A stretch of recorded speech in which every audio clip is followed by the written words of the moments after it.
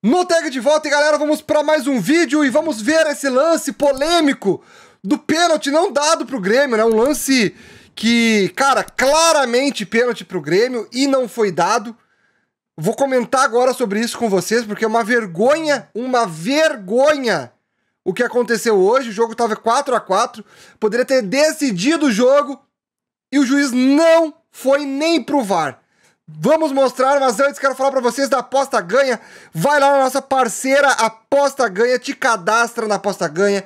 Vai lá que tu ganha 5 reais. Lembrando que hoje, né, Inclusive nesse jogo contra o Corinthians, apareceu nas placas por tudo. Aposta ganha, aposta ganha, porque são parceiros oficiais do Brasileirão, Série A, Série B, Série D e também dos jogos do, da seleção brasileira. Então vai na aposta ganha que é confiável, não vai em qualquer casa de aposta aí, vai na aposta ganha pelo link que está no comentário fixado ou no QR Code que está aqui na tela. Vai lá, te cadastra pelo meu link que tu me ajuda aí bastante. Tamo junto? Gurizada, vamos ver esse lance então bizonho, bizonho, vergonhoso, vergonhoso que aconteceu hoje lá contra o Corinthians. O que aconteceu foi uma vergonha. Olha este lance, deixa eu colocar na hora do pênalti não dado. Olha isso aqui.